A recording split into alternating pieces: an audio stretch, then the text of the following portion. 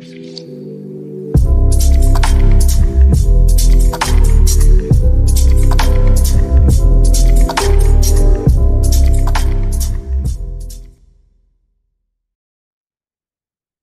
Hola, bienvenidos a un nuevo video. Mi nombre es Diego, pero me pueden decir Yeyo.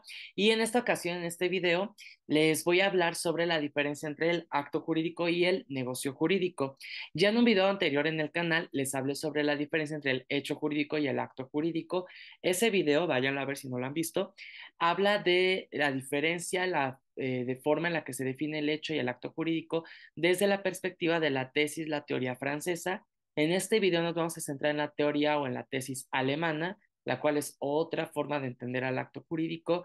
Claro que en realidad en nuestro país y en realidad en casi todos los que tienen una tendencia neorromanista, la tesis, la teoría que, predomina es la francesa, pero pues también la alemana tiene sus, sus este, buenas excepciones.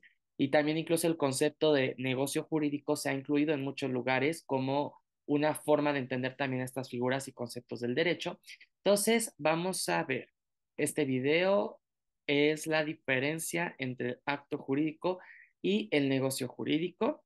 Les repito, desde la, en esta ocasión hablamos desde la perspectiva, desde la tesis alemana y por ello, así como en el otro videito, les tengo aquí un diagrama de cómo vamos a ir hablando de los conceptos para que vayan entendiendo cómo va este rollo. Si quieren copiarlo, tomar una foto antes de que pasemos a lo siguiente, pues aquí se los dejo. Vamos a empezar definiendo otra vez hecho jurídico en un sentido amplio. Vamos a ver hecho jurídico en sentido estricto y vamos a ver ahora acto jurídico y cómo para la tesis alemana se divide el acto jurídico en acto jurídico en sentido estricto y en el negocio jurídico. Eh, bueno, por ahí, ahí, bueno, ahorita que ya los explica, les voy a decir bien qué anda. Ya vimos este diagrama, vamos a empezar. Hecho jurídico en sentido amplio, en el otro video lo definí y en este lo reitero.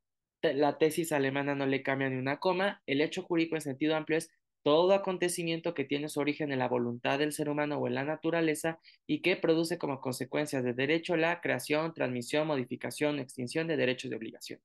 Hecho jurídico en sentido amplio es todo aquello que suceda de la naturaleza del ser humano y que produce consecuencias de derecho. Punto. No se meten más en mayores problemas ya está que ese hecho jurídico en sentido amplio. Ahora, la tesis alemana hace la división también entre el hecho jurídico en sentido estricto y el acto jurídico. Sin embargo, para la tesis o la teoría alemana, el hecho jurídico en sentido estricto únicamente son los acontecimientos o hechos de la naturaleza que van a producir consecuencias de derecho. Es decir, para la tesis o la teoría alemana, el hecho jurídico en sentido estricto es simplemente la naturaleza. No interviene en absoluto la voluntad del ser humano.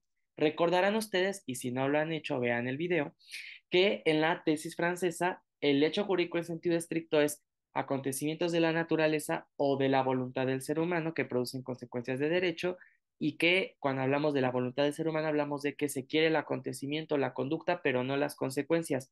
La teoría o la tesis alemana dice, no, no, ¿para qué te haces bolas? A ver, Hecho jurídico en sentido estricto es simplemente hechos de la naturaleza que producen consecuencias de derecho. Punto. Entonces, tesis alemana, hecho jurídico en sentido estricto son acontecimientos o hechos de la naturaleza que producen consecuencias de derecho. Punto. Se acabó. No hay más. El acto jurídico, por otro lado, es la manifestación exterior de voluntad que se, que se realiza, que se hace con la finalidad de crear, transmitir, modificar o extinguir una obligación o un derecho y que produce el efecto deseado por su autor. Es decir, para la tesis alemana, el hecho jurídico de sentido estricto es simplemente naturaleza. Si participa la voluntad del ser humano, entonces nos vamos directamente a acto jurídico. Ahora bien, el acto jurídico, desde la perspectiva, desde la tesis alemana, se divide a su vez en acto jurídico en sentido estricto y el negocio jurídico.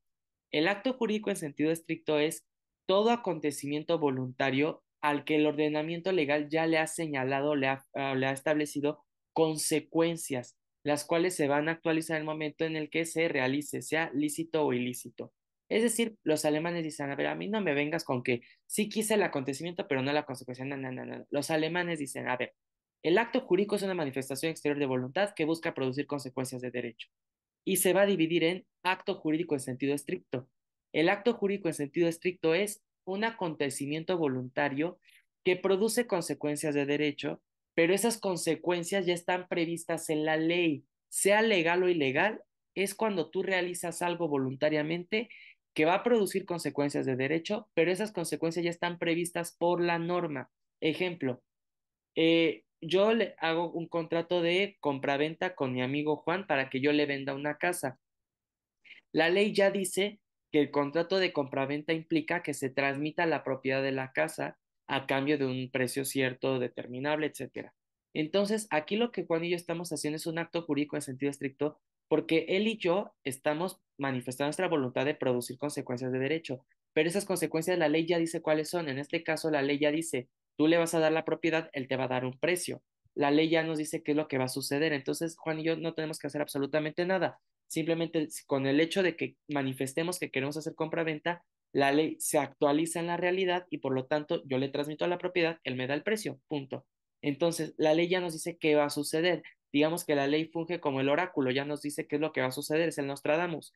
Mientras que el negocio jurídico es una declaración o un acuerdo de voluntades con los cuales los particulares se proponen conseguir un resultado que el derecho estima digno de su especial tutela, sea con base solo en dicha declaración o acuerdo, sea complementado con otros hechos o actos. En pocas palabras y para que se entienda. El negocio jurídico puede ser unilateral o bilateral, pero aquí la característica es que las consecuencias que se va a producir de esa manifestación de voluntad, sea unilateral o bilateral, es que esas consecuencias no están precisamente previstas en la ley. Es decir, las consecuencias de derecho se pueden generar a partir de la voluntad de la persona o las personas. Como les decía, en una compraventa no hay pierde, la ley ya dice qué es lo que va a suceder, que en este caso es que yo transmito la propiedad y que a cambio me dan un precio. Pero, por ejemplo, supongamos que mi amigo Juan y yo decimos, oye, fíjate que, este, Yeyo, tú véndeme tu casa, ok, pero yo te la voy a ir pagando cada dos meses y mientras tanto yo la voy a habitar y entre que yo la habito te pago también una renta. Es decir, Juan, yo le voy a vender mi casa a Juan, pero Juan me la va a ir pagando, este, digamos que me la va a pagar en tres años y me va a ir dando dinero cada dos meses. Pero porque a lo mejor a él ya le urge la casa o yo qué sé, él me dice, déjame ir a vivir ya a tu casa y en lo que yo vivo ahí para que veas que todo va bien, te pago además la renta. Entonces, si se dan cuenta, este acto que estamos haciendo Juan y yo no es en realidad una compraventa tal cual, ni tampoco es en realidad un arrendamiento. ¿Por qué? Porque en este caso le estoy cediendo, le quiero ceder la propiedad, pero también está pagándome por vivir en una propiedad mía, ¿me entienden? Entonces, no es como tal algo tal cual que la ley diga, ah, existe la compraventa con modalidad de arrendamiento. Pues es algo que él y yo estamos generando y por lo tanto podemos determinar las consecuencias. Otro ejemplo, esto sucede más que nada en contratos en materia mercantil. Supongamos que eh, yo quiero llevar mercancías a, San Luis Potosí y entonces contacto con una empresa que es la que me va a vender mi mercancía y yo le digo, ok, este, yo te pago para que tú me vendas la mercancía y este, ¿qué te parece si que este, yo para pagarte tus servicios a ti por distribuirme, por venderme, te pago con mercancía en lugar de pagarte con dinero. La ley pues puede que no contemple estas cuestiones de, este, de que se pague en especie, pero si las partes así lo pactaron, pues bueno, que así suceda. Entonces, la principal diferencia entre un acto jurídico en sentido estricto y un negocio jurídico es que el acto jurídico en sentido estricto, la ley ya dice qué va a pasar y por lo tanto, cuando las partes manifiestan su voluntad, la ley se actualiza y se acabó. Mientras que en el negocio jurídico, la voluntad de la o las partes pueden determinar los resultados. Es decir, aquí sí puedes decir tú qué va a pasar y qué no. Ahí es, la, ahí es donde la tesis alemana hace su principal diferencia. Ellos consideran que la voluntad de las partes sí puede influir en los resultados que tendrá su actuar. Sí pueden establecer las consecuencias de derecho que van a suceder. Esa es la principal diferencia entonces entre un acto jurídico en sentido estricto y un negocio jurídico. El acto jurídico en sentido estricto es Nostradamus, es el oráculo. Ya nos dijo qué va a pasar el negocio jurídico todo puede pasar conforme a la voluntad de la o las partes, porque el negocio jurídico puede ser unilateral o bilateral. Entonces, esa es la tesis alemana. Queda para repaso. Hecho jurídico en sentido amplio, todo acontecimiento de la naturaleza de la voluntad del ser humano que produce consecuencias de derecho. Hecho jurídico en sentido estricto es únicamente acontecimientos o hechos de la naturaleza que producen consecuencias de derecho acto jurídico, manifestación exterior de la voluntad que produce consecuencias de derecho. Y se divide en acto jurídico en sentido estricto, que es cuando la ley ya determina las consecuencias de lo que va, las consecuencias de derecho, ya nos dice qué es lo que va a pasar. Negocio jurídico, la voluntad de la o las partes puede influir para que se produzcan las consecuencias de derecho. Es decir, en uno no podemos hacer nada, la ley ya lo dijo todo, en el otro podemos meterle de nuestra cosecha. Y pues bueno, esta es la tesis, la teoría alemana. La diferencia entre un acto jurídico y negocio jurídico, pues ya se las expliqué. Y ya pueden ustedes dárselas. Si ya vieron el otro video y ven este video, ya pueden dárselas de que ya se saben de pie a las diferencias entre eh, hecho, acto y negocio jurídico. Pero les digo, en realidad en los países como México predomina más la tesis o la teoría francesa, pero pues bueno, hay que estudiar la alemana porque hay varios este, cuestiones, varios, incluso legislación local que habla de negocio jurídico y hay incluso autores que mencionan negocio jurídico como una, un sinónimo del acto jurídico, pero pues no, nada que ver. Y en realidad eh, es muy chistoso porque eh, la palabra negocio jurídico o la tesis alemana derivó un poquito de la tesis francesa, eh, se vio influida, y es muy interesante porque la palabra en francés original decía affaire juridique, que en, en pocas palabras se entendería como una mm, negociación un, eh, este, sí, un negocio de, un negocio, un hecho jurídico, pero la traducción al alemán lo tradujeron tal como un negocio jurídico, pues bueno, se queda.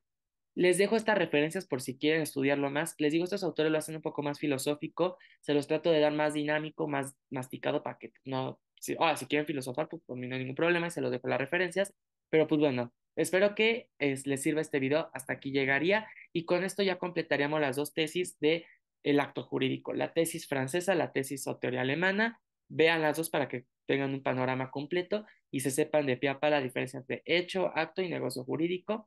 Y pues bueno, sin más por el momento, hasta aquí llegaré este video. Cuídense mucho, que tengan una muy bonita semana y nos vemos en la siguiente ocasión. Hasta la próxima. Thank you.